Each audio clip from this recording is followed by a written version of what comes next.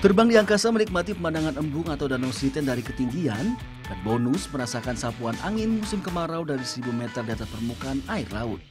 Tak heran bila olahraga para layang banyak digemari orang. Agustus ini digelar Festival Para Layang Open 2017 di kawasan Embung Sriten yang merupakan puncak tertinggi Gunung Kidul, Yogyakarta. Diikuti puluhan peserta dari berbagai daerah di Pulau Jawa dan Bali, ajang ini selalu ditunggu-tunggu. Bukan adu cepat capai titik finish atau ketepatan mendarat, 30 peserta harus bisa mencapai titik-titik koordinat yang sudah ditentukan. Kategori ini disebut kelas lintas alam. Panitia akan mengecek ketepatan capai peserta melalui Global Positioning System GPS. Lokasi ini juga rencananya akan digunakan untuk kejuaraan para layang tingkat nasional.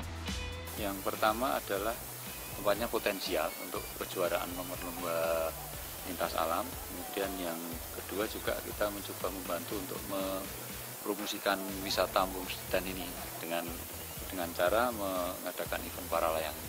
Para peserta pun mengakui lokasi ini tepat untuk berpara layang.